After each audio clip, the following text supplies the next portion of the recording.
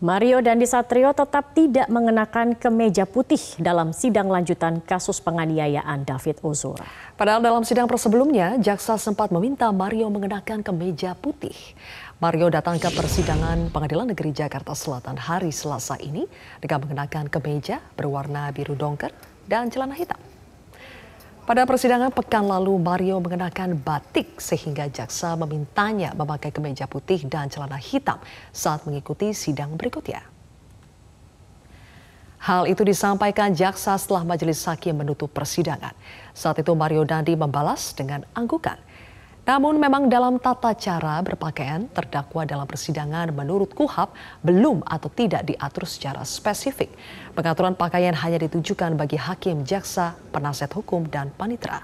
Sementara Kepala Seksi Penerangan Hukum Kejaksaan Tinggi DKI Jakarta Ade Sofiansyah mengatakan jaksa hanya ingin menyeragamkan pakaian Mario dengan terdakwa Shane Lucas. Ya.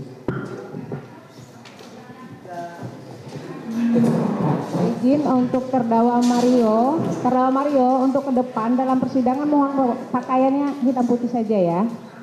Terima kasih.